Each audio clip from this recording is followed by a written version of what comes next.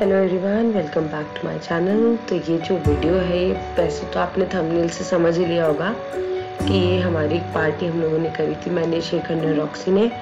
तो जिसमें मैंने चार सौ बारह रुपये में पाँच पिज़्ज़ाज लिए थे। जी हाँ बट ये जो वीडियो है, थोड़ा सा पुराना है। ये है दिवाली के टाइम का वीडियो जिस टाइम पर आपको एक रुपये में कोई भी एक प्रोडक्ट चूज़ करने का ऑप्शन अवेलेबल हो रहा था, कोई भी मिनिमम ऑर्डर अवेल करके।